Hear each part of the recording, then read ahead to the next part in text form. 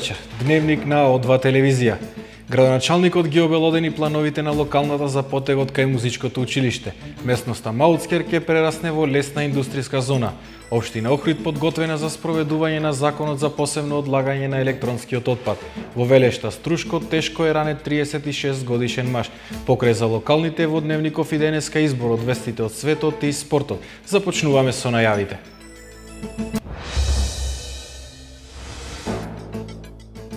Македонија успешно се справува со трговијата со луѓе. Мини плоштад дополнет со детски реквизити ќе се гради на потегот кај музичкото училиште. Обид за убиство во Велешта.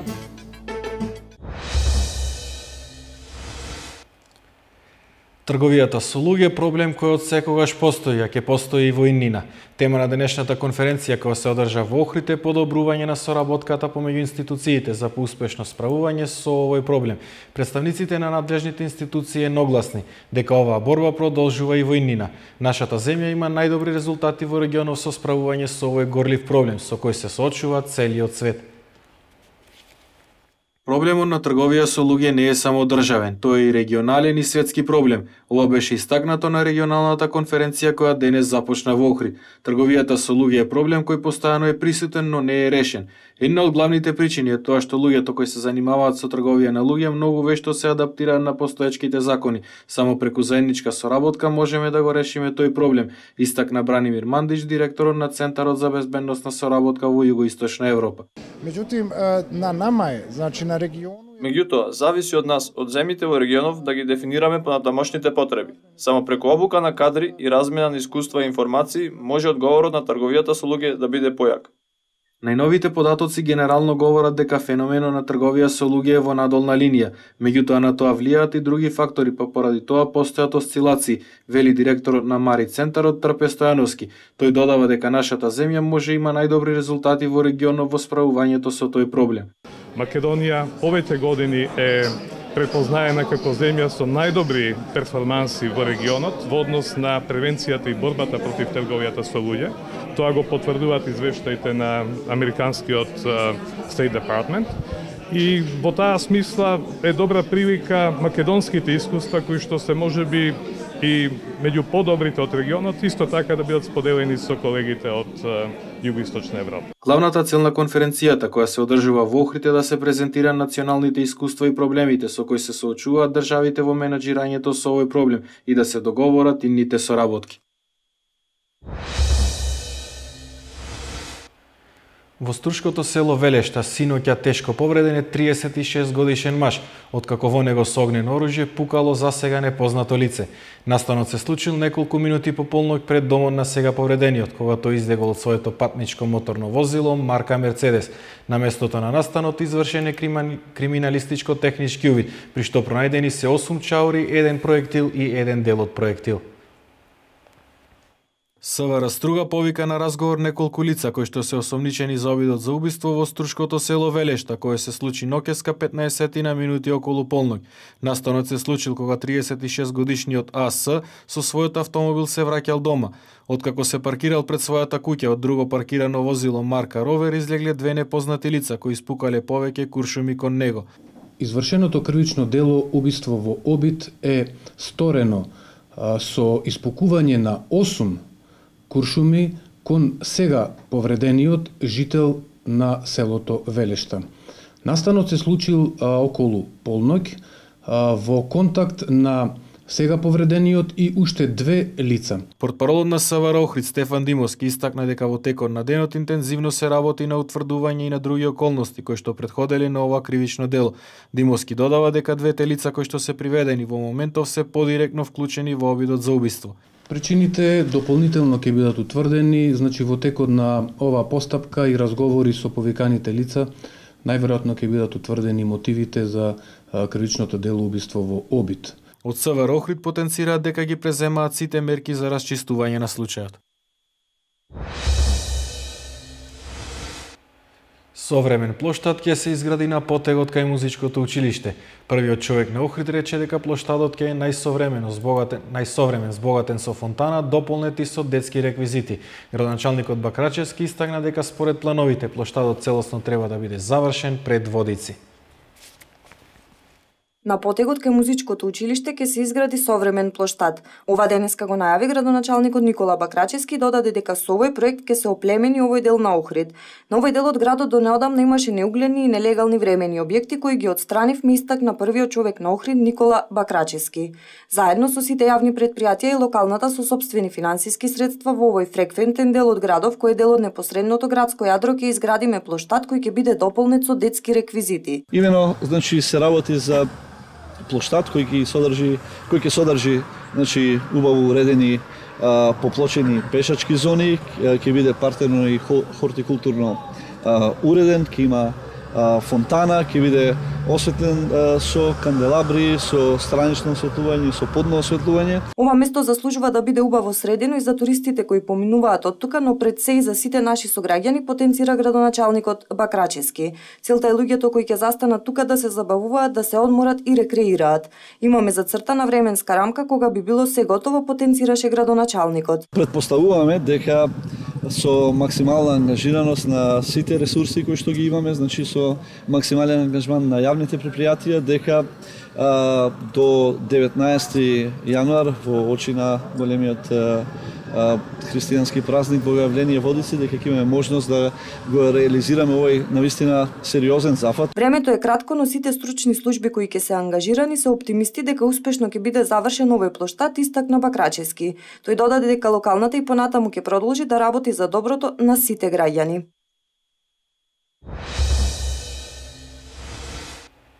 Во Белград денеска започнува третата средба на Кина со државите од Централна и Источна Европа. Покрај Кина учествуваат и 16 држави од регионот на Централна и Источна Европа, од кои поголем дел се и членови на Европската Унија.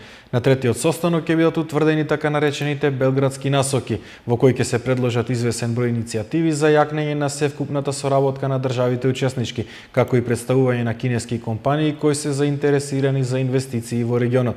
На средбата ќе учествува и македонскиот премиер Никола Груевски, каде ќе оствари средба со кинескиот и унгарскиот премиер, со кој ќе разговара околу изградбата на пругата до Будимпешта.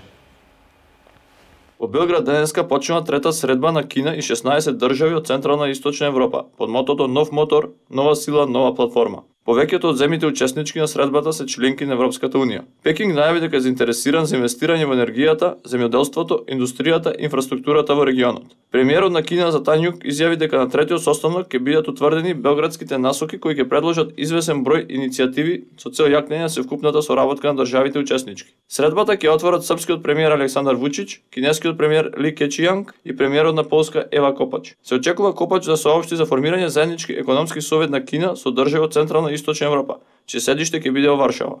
Целта на состанокот во Белград е да се обезбеди продолжување на заедничките напори за јакнење на соработката на Кина и државите од Централна и Источна Европа, подкрената пред три години во Будимпешта, а продлабочени на состаноците во Варшава 2012 година и Букуреш 2013 година. На форумот ќе се представат голем број кинески компании заинтересирани за инвестирање во регионот. На самитот ќе присуствува и македонскиот премиер Никола Груевски, кој заедно со премиерите на Србија и Унгарија ќе разговараат со кинескиот премиер за изградба на пругата до Будимпешта.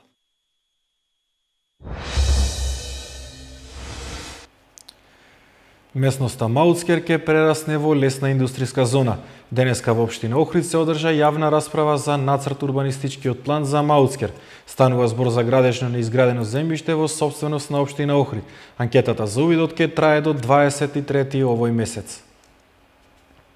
Лесна и незагадувачка индустријска зона е предвидена според нацрт урбанистичкиот план за местноста Мауцкер. Според изнесените податоци на денешната расправа која се одржа во општина Охрид станува збор за површина од околу 18 хектари градежно неизградено земјиште во собственост на општина Охрид. А, исто така има лесната и незагадувачка индустрија зафаќа 15,3 хектари, односно 85% од земјиштето.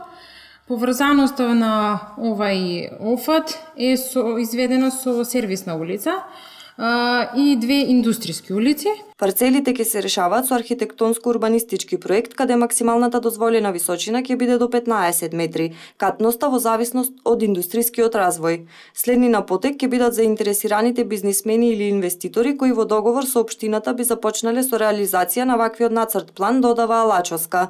Јавниот увид како и анкетата за овој урбанистички дел ќе траат до 23 овој месец. Од 1 јануари стапува на сила Законот за посебно одлагање на електронскиот отпад. Општина Охрид, согласно законските норми за отпад од електрична и електронска опрема во соработка со јавното предпријатие Охридски комуналец, ќе отвори посебен собирен пункт за овој вид на отпад. Старите фрижидери, компјутери или машини за перење алишта по нова година нема да смее да се остават до контейнерите. Со новите законски измени, граѓаните ќе можат при купување нов електричен апарат за домакинство, стариот да го остават во фирмата од каде го купуваат новиот. Општина Охрид подготвена да го спроведе законот за одлагање електронски отпад. Портпаролот Томе Джамтовски вели дека општина Охрид, како и секоја општина со над 30.000 жители, треба да има одреден собирен пункт за овој вид отпад. Ваквата заложба ќе биде решена со специјален контейнер кој ќе биде поставен кај јавното предпријатие Охридски комуналец, како пункт за одлагање на електричен отпад истакна портпаролот Џамтовски. Согласно пак законските пропишани норми, ќе склучи договор со фирма која е специализирана за собирање и постапување со овој вид на отпад. Ние во моментот сме подготвени. Портпаролот Џамтовски повика на почитување ваквите законски заложби и одлагање нови вид отпад на одреденото место. Тој напомена дека вакви слични акции од страна на општината се реализира и во изминатиот период и истите беа доста успешни. Законот за посебно одлагање на електрична и електронска опрема на сила стапува од 1 јануари 2015 година. Согласно измените во законот, повеќе нема да се организираат собирни акции за електронски отпад. Третирањето нови вид отпад од следната година ќе биде обврска на компаниите кои се занимаваат со дистрибуција и продажба на електронска опрема. Собирниот пункт за електронски отпад во општина Охрид е во рамките јавното предпријатие Охридски комуналец.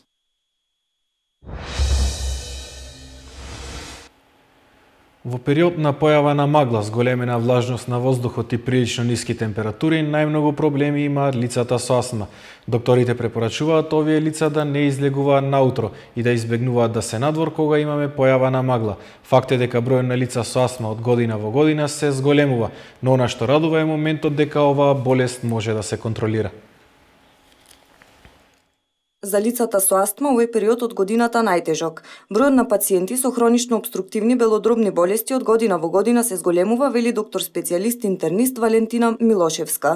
Астмата е заболување кое може да седи во мирување, но во овој период кога имаме зголемена влага, појава на магла и ниски температури, имаме и поголем број на пациенти, објаснува доктор Милошевска. Идат пациенти секојдневно Сега точно бројка не можам да ви кажам, али сигурно идат повеќе од десетина со проблеми со дишење, со напади, со астматични напади, со температури покачени, и покрај тоа што ја земаат редовната терапија. Сите наши пациенти се згрижени, некои од нив секојдневно примаат терапија во дневната болница, некои на нашето одделение објаснува доктор Милошевска. Астмата е неизлечива, но контролирана болест. Астма имаат и дел од спортистите, но со правилна терапија се става под контрола оваа болест која не е пречка за ниту една професија. Има некој процент од пациентите имаат генетска предодреденост, другите имаат алергиска предодреденост услови во кои што живеат пациенти кај што има мувла и тие имаат чести проблеми со дишењето. Она што како доктор можам да го препорачам за лицата со астма е да избегнуваат да излегуваат надвор кога има појава на магла,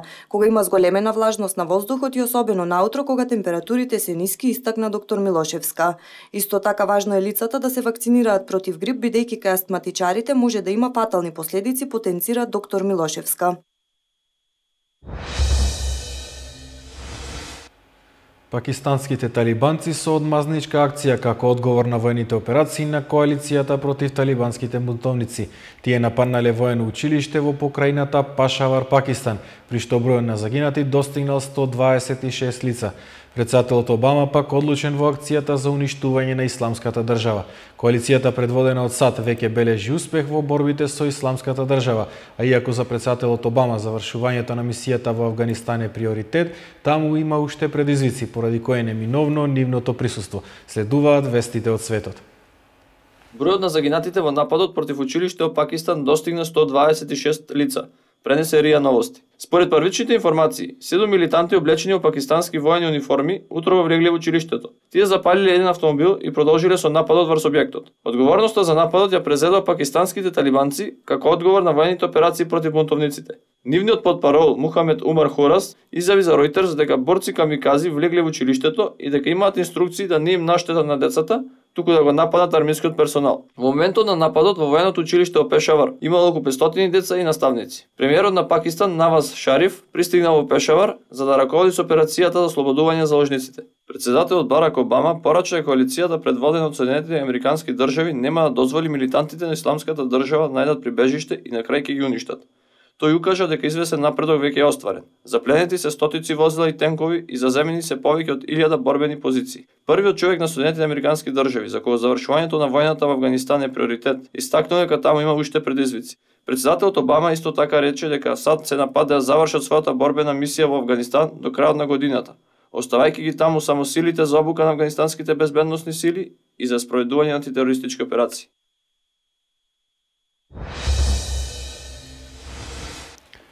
Од страна на Стопанската комора на Македонија денеска беше одржана обука за малите средни предпријатија од Охрид. Представниците на предпријатијата се обучуваа како да ги користат парите од европските фондови, што ги нуди Enterprise Europe Network мрежата на менета за мали и средни предпријатија. Представниците од малите и средни предпријатија денеска се обучуваа како да ги користат парите од европските фондови. Обуката беше спроведена од страна на Стопанската комора на Македонија. Денеска тука сме собрани со компаниите од Охрид за да може да им се представат програмите Косме и Хоризонт пред се кои се наменети и а, исклучиво за мали и средни предпријатија, односно со средства кои Европската унија ги дава во форма на грантови, на европски фондови, а, за реализирање на одредени а, иновативни проекти, да кажам, во, во рамки на самите компании. Овие фондови македонските предпријатија можеа за прв пат да ги искористат годинава. Истите на располагање на предпријатијата ќе им бидат се до 2020 година. Така на, на ова обука да се објаснат начините како а, нашите компании, македонските компании ќе дојдат до а, до партнери ќе најдат во рамките на оваа мрежа а, со цел подобро да се вклучат во апликацијата во апликациите на програмите што се за хоризонт во наредниот 7 годишен период. Enterprise Europe Network или мрежата за мали и средни предпријатија ја сочинуваат 52 земји од целиот свет. Покрај тоа што малите средни предпријатија можат да искористат за аплицирање на взаемни проекти, исто така можат и да добиваат информации во дело на наоѓање на дистрибутери, добавувачи од други земји што се вклучени во мрежата за мали средни предпријатија. Во Дневников е на убава вест за успехот на основците од основното училиште Христо Узунов. Имено на регионалниот надпревар кој вчера се одржа во Кичево, на кој учествуваа сите првопласирани екипи од училиштата кои извојувале победа на општинските турнири во своите градови, основците од Христо Узунов го освоија првото место. Оваа награда за нашите представници ги отвора вратите за државните надпревари. Инаку на регионалниот надпревар учествуваат ученици од основните училишта од Охрид, Кичево, Струга, Битола, Ресени, Демирхисар.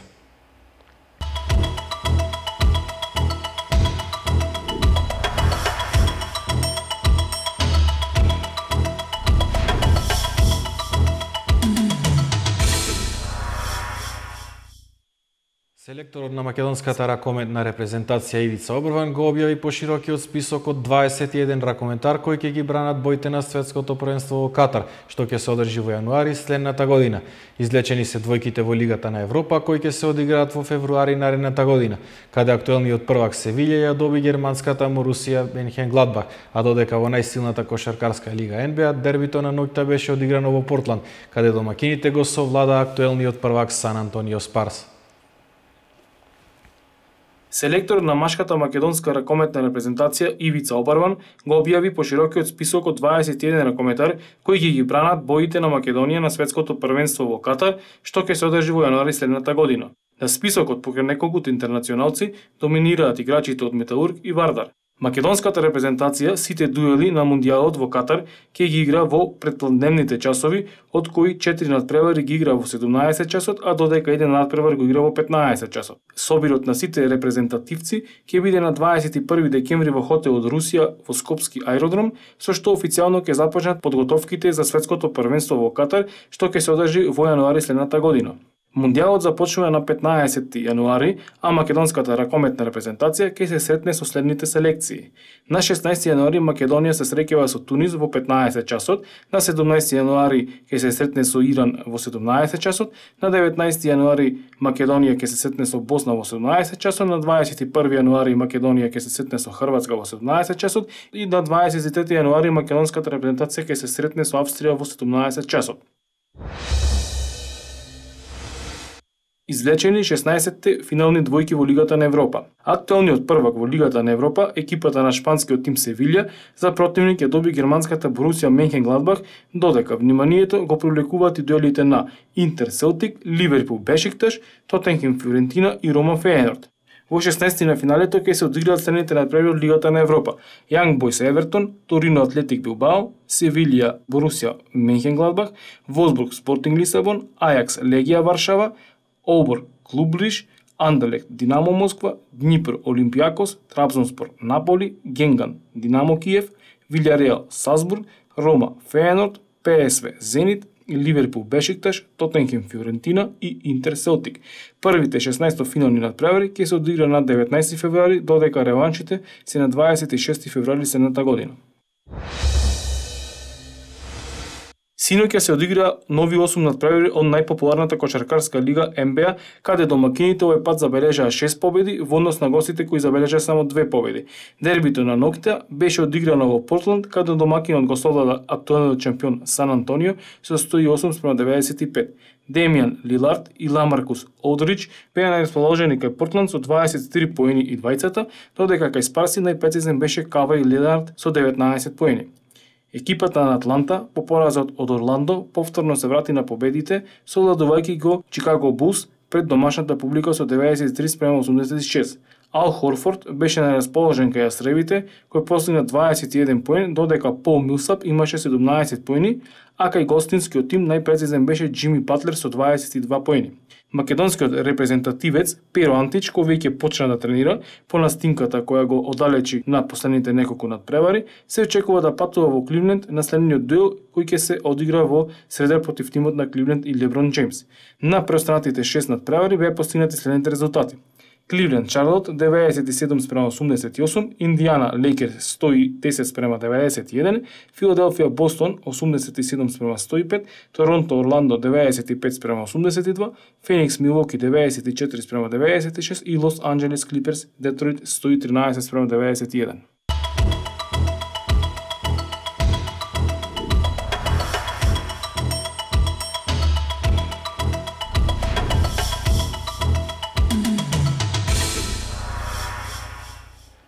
Во Дневников минути за временската прогноза. Еве ги параметрите за следниве денови.